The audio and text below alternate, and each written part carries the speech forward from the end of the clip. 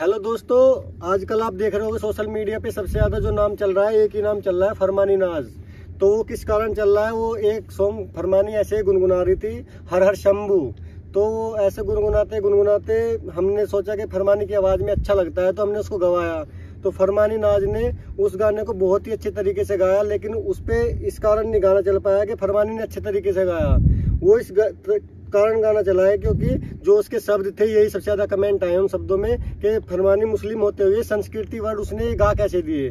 तो लोगों को, बहुत लोगों को यकीन भी नहीं हो पा रहा कि फरमानी ने गाया तो आज उनके दो शब्द आपको हम स्टूडियो में सुनवा देते हैं, जिससे कि आपको लगेगा कि हाँ हमारा ही ओरिजिनल गाना है ये। तो फरमानी को सुनाइए आप भी। तो दोस्तों, आजकल हर तरफ़ एक ही आवाज़ गूंज रही हर हर शंभू। और इस बारे में कितने न्यूज़ चैनलों पे आपने देखा कि कितनों पे मैं इतने वीडियो आ रही मेरी और मैं बताते बताते भी थक गया और आज तो मेरी तबीयत भी डाउन है।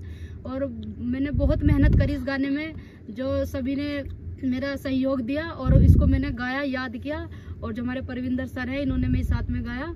और बहुत ही अच्छा सॉन्ग है तो बस इतने अकेड़े केड़े वर्ल्ड थे जो मुझसे बहुत बहुत देर में बोलेगा। फिर भी मैंने गाया क्योंकि पब्लिक को नया चाहिए तो हम उनको नया सुनाते हैं और हमारी टीम बतागी किस किस ने क्या किया। भाई ने लिखा था। तो तो उसमें जो सबसे ज़्यादा सहयोग किया था फरमानी ने आज गाने में। काम तो फरमानी ने ज़्यादा किया लेकिन सहयोग सबसे ज़्यादा दिया है।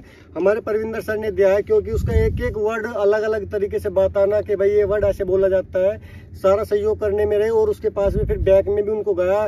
परविंदर सर ने आपने वीडियो में भी देखा होगा कितना म्यूज़िक भी म्यूज़िक भी उन्होंने दिया गुरु जी ने दिया। और सबसे बड़ी बात यह है कि एक नाइट के अंदर मतलब कि दस बारह घंटे के अंदर हमने वो म्यूज़िक बनाया है जो आप लोग हर शंभू में सुन रहे हैं इसीलिए उस पर कॉपी नहीं आया क्योंकि वो हमारा ही ओरिजिनल ट्रैक है। तो प्रविंदर सर से पूछते हैं प्रविंदर सर ने उसमें कितने टाइम में कितने अच्छे तरीके से बनाया? सर जी आप बताइए कुछ। जी। जैसे सबसे पहले राहुल भाई ने सुना फरमानी की आवाज़ में गुनगुना रही थी तो इन्हें लगा कि हाँ हमें बनाना चाहिए ये गाना। जी। जैसे ही लगा फिर इन्होंने मेरे से पूछा जी। कि बन जाएगा क्या? मैंने कहा ठीक है बन जाएगा। तो हम लोगों ने कंटिन्यू मेहनत करके छह सात घंटे में ट्रैक बनाया पूरा। रिकॉर्डिंग ट्रैक वगैरह सब कुछ। उसके बाद जब हमारा फाइनल ट्रैक हो गया उसके बाद हमने वीडियो शूट किया। वीडियो शूट में लगभग लगा होगा मैं दो घंटा। तो कुल मिला के हमें आठ नौ घंटे लगे हैं। तो इसमें जैसे ही रात पूरी रात मेहनत करी। पूरी रात मेहनत करने के बाद जो आउटपुट आई वो सुबह ही ऐसे ही करके हमने अपने चैनल पे डाल दी। सभी का सहयोग था सब पूरी रात जगे हैं इस गाने के लिए। जी जी। तो एक चीज़ में आपको देखने वाली ये है कि मेहनत जब हम लोग करते हैं तो ये सोच के नहीं करते क्या चीज़ चलेगी। इस गाने में सिर्फ़ हमारे 24 से 25 घंटे लगे हैं बनाने में, डालने में, देखने में, समझने में। तो इतना वायरल हुआ है गाना जो आज पूरे सोशल मीडिया पे कोई सा भी ऐसा न्यूज़ चैनल नहीं है नेशनल चैनल जिसपे ये चीज़ें नहीं आ रही हूँ। तो सबसे ज़्यादा इसको जो वायरल जो हो रहा है कारण हो रहा है कि इसमें जो फरमानी ने, हर हर शंभू कहा लेकिन उससे पहले फरमानी के चार भजन और भी हमने अभी इसी कवर में देते, उस पर कोई किसी ने ऐतराज नहीं उठाया है। इसमें भी ऐसा कोई खास ऐतराज नहीं था, पता नहीं कुछ लोगों ने ऐसे ही, कोई भी बोल सकता है भाई बोलने वाले बोल सकते हैं। उनको हम रोकते नहीं है, लेकिन उनके लिए भी हम हाथ जोड़कर बोलते हैं कि जो भी बोलो, सोच समझ कर बोलना चाहिए, किसी के दिल को ठेस ना पहुँचे कभी आगे से इस तरीके से। तो हमने, ना तो हमें इस गाने में कोई फतवा जारी हुआ था, और ना ही किसी ने हमें ऐसा कोई गलत बोला था। तो जो हराम बता रहे हैं, उनके लिए हराम लगता है, उनके लिए भी हम सही बोलते हैं, भाई, जो हराम सोच के देखते हैं, कम से कम वीडियो तो देख रहे हैं फिर भी वो लोग। तो गाना, लोग हर कोई गुनगुनाता है, गाता भी है, उनकी मर्ज़ी है, भाई, हराम कहें, कुछ कहें, लेकिन कम से कम जब हमें कई करोड़ लोग देखते हैं, दस पाँच उसमें हराम भी कह देते हैं तो उससे हम कोई ये चीज़ नहीं, हमारे पे पड़ रही है कि हम आगे से काम नहीं करेंगे इस चीज़ के ऊपर।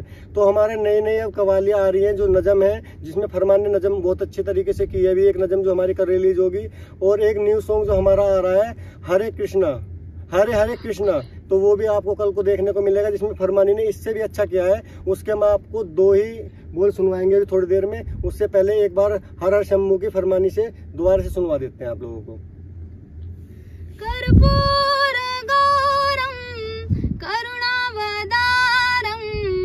संसार सारम भुजगेंद्र हारम कर्पूर गौरम करुणावतारम संसार सारम भुजगेंद्र हारम सदा वसंतम हृदयारविंदे भावम भवानी सहितम नमामि।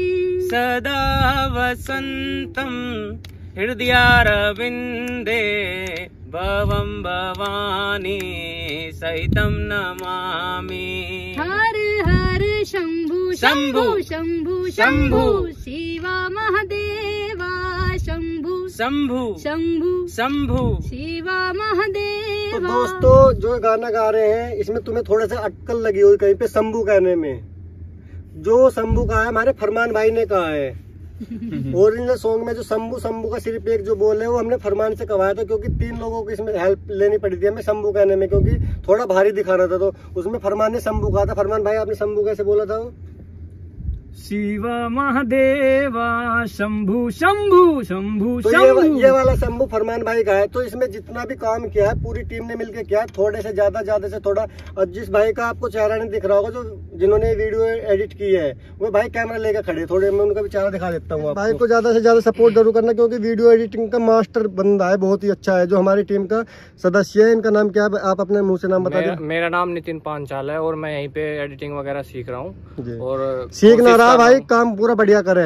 जी कोशिश कर रहा हूँ अपना बेस्ट देने के लिए। तो दोस्तों हर हर शंभू ने जितना कोहराम मचाया है हमारे भजन ने उससे ज़्यादा कोहराम मचने वाला है जो अभी जन्माष्टमी के लिए हमने जो तैयारी की है श्री कृष्ण भगवान का हमने हरे कृष्णा जो सॉन्ग बनाया, हरे हरे कृष्णा तो उसके आपको दो बोल सुनवा देते हैं, जिसको हम कल या परसों तक रिलीज़ कर देंगे। उसको जो भी आप लिखोगे, उसका जो हैश रहेगा, हरे हरे कृष्णा के नाम से आएगा तो उसके दो बोल सुनवा देते हैं। परिंदर सर?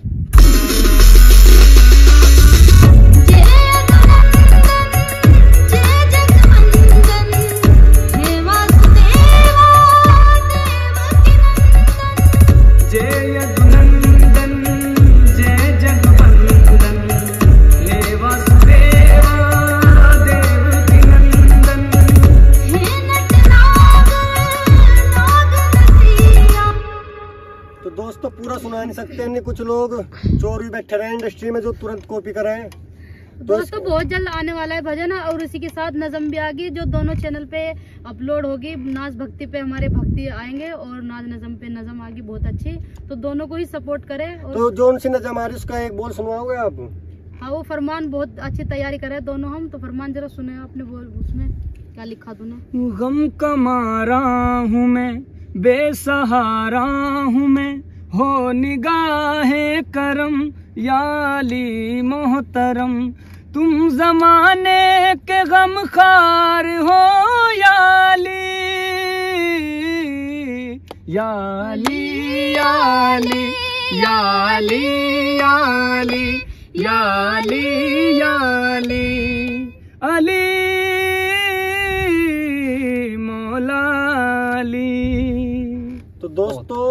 आप सभी जो को हाथ जोड़कर निवेदन करते हैं कि जो हमारा भजन आएगा उसको भी हिंदू मुस्लिम दोनों सपोर्ट करें और जो हमारी कवाली आएगी उसको मेरे भाई जितने भी हिंदू हों वे भी देखें और जो मुस्लिम भाई हैं वो भी देखें और जो कहने वाले लोग कहते हैं तो कहते ही रहेंगे। लेकिन आपके लिए हम ऐसे ऐसे कवालियाँ नजम और भजन और फिल्मी सॉन्ग आपको देते रहेंगे। फरमानी नाज की आवाज़ में फरमान की आवाज़ में ज़रूरत पड़ने पर हम परविंदर सर की आवाज़ यूज़ करते हैं जो बहुत अच्छा गाते हैं। लेकिन एक नंबर के जो है म्यूजिशियन ज़रूर है। जो लिखे पढ़े म्यूजिशियन है तो बहुत छपरी लोग भी हैं जो वैसे ही करते हैं काम को। लेकिन क्लासेस भी कराते हैं और सिखाते भी हैं म्यूज़िक को और बहुत ही अच्छे लेवल के टीचर भी हैं म्यूज़िक लाइन में। तो जैसे इतना न्यूज़ का आ रहा है तो आपको वहाँ पे देख के कोई परेशानी होती है उल्टे सीधे सवाल करते हैं या बिल्कुल अच्छा लगता है कि भाई जैसे बहुत लोग सोचते हैं कि भाई जैसे हम न्यूज़ चैनल पर अगर कहीं बैठ गए या कोई डिबेट होने लगी तो अपनी तरफ़ से करवाते हैं लोग चीज़ों को या डायरेक्ट ही पूछते हैं? नहीं जिस बात पे मुद्दा बस वही पूछे बाकी जो सवाल करे हम उनका जवाब दे दो और वहाँ बात को कोई पूछता नहीं और बड़े प्यार मोहब्बत से अपनी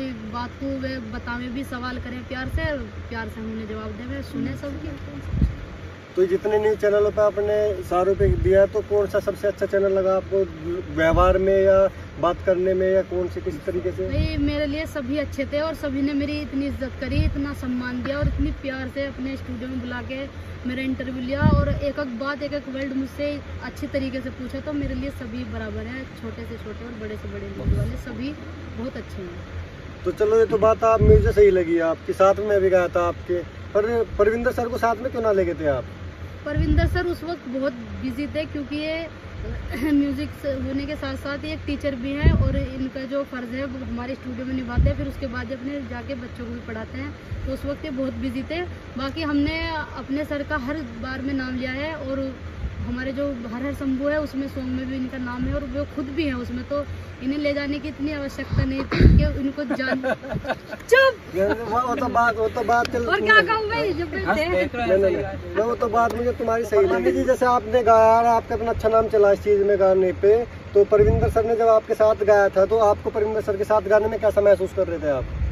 अच्छा लग रहा था क्योंकि एक शिक्षक को और अपने गुरु के साथ गाने का मौका मिला, उससे अच्छा और क्या बात है? और जिसमें कि हमारे जो सर जी है, परविंदर सर, हमें जब मैं हर हर शंभू के पास गीत लेके आई तो उन्होंने मुझे समझाया, एक एक वर्ल्ड समझा के मुझे उन्होंने रिकॉर्डिंग करवाई और जितनी उनसे मेहनत हुई, उसमें मेरे साथ डट के मेहनत करी। जितनी देर में मैंने गाया, उतनी देर में उन्होंने मेरे साथ मेहनत करके एक वर्ल्ड समझा के मुझे गवाया तो मुझे बहुत अच्छा लगा कि आज अपने जो मेरे गुरु जी हैं मेरे सर जी हैं मुझे अपने साथ गवा रहे हैं। तो और अच्छे से दोस्तों बता किसी भी सॉन्ग को बनाने में ये मत ना सोचा करो कि भाई एक आदमी ने गाया उसी ने ज़्यादा मेहनत की है। एक चीज़ को बनाने के लिए हम कितने लोगों का काम होता है हमारा ही नहीं बहुत लोगों का। तो उसमें कुछ लोग ऐसे होते हैं जिनको नाम तक नहीं आता है बहुत लोग नहीं देते उस चीज़ चीज़ के लिए। तो हमारी टीम में ऐसा नहीं है। फरमानी ने खुद बताया कि इसमें सबसे ज़्यादा हाथ किसका है? परविंदर सर ने इसमें खुद गाया बताया किस तरीके से करना है क्योंकि इतना टिफिकल सॉन्ग है अगर ये अच्छा इतना नहीं होता तो इसमें कम से कम आपको 500 कम से कम कवर सॉन्ग देखने के लिए मिलते हैं। लेकिन इस पर बहुत ही कम लोग कवर सॉन्ग बना पाए क्योंकि सबसे गाया नहीं जाता है चीज़ें। तो इसके लिए परविंदर सर से बात कर पूछते हैं अभी कि परविंदर सर को फरमानी के साथ में कैसा लगा? सर जी आपको कैसा लगा गाने साथ में? बहुत अच्छा था सब कुछ बढ़िया था। थोड़ा सा मेहनत तो लगी। जी। जो शब्द थे थोड़े कठिन थे खुद गाया थोड़ा फरमाने को बताया। बहुत अच्छे से काफ़ी मेहनत करी। नहीं की सबसे ज़्यादा मेहनत है। मैंने म्यूज़िक बनाया जितना मेरे से हो सकता था मैंने बताया।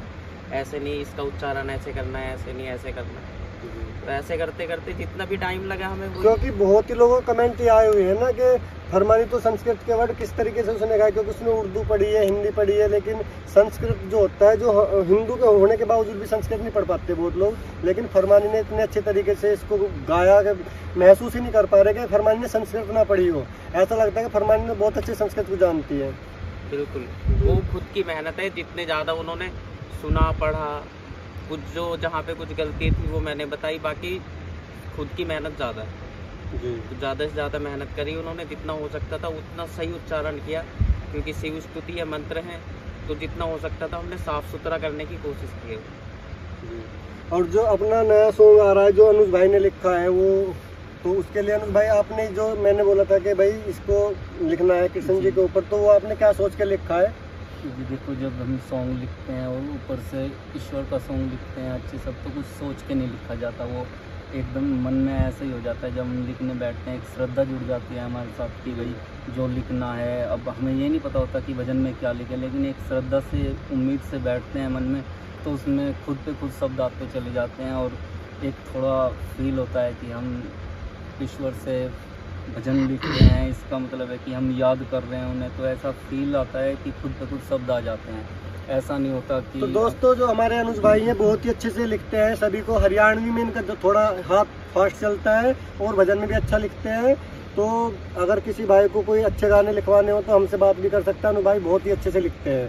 और वैसे ज़्यादातर जो लिखते हैं, वो हमारी टीम के लिए लिखते हैं, क्योंकि फिर भी बाहर से ऐसा कोई फ़ोन आएगा तो हम उनके लिए थोड़ा बहुत कर सकते हैं।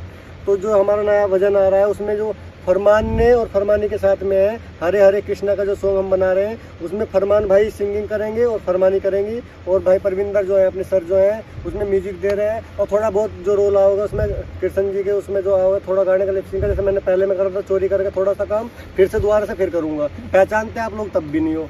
क्यों नहीं पहचानते? तुम्हारा तो सबसे ज़्यादा नाम है, हर न्यूज़ पे तुम्हारा नाम लिया। और सबसे पहले जो कड़ी जोड़ी वो आप ही ने जोड़ी आप ही का तो हर जगह नाम है फिर कौन नहीं पहचानता। तो दोस्तों पूरी टीम को सपोर्ट करते करते थोड़ा थोड़ा मुझे भी करा करो और फर... जी।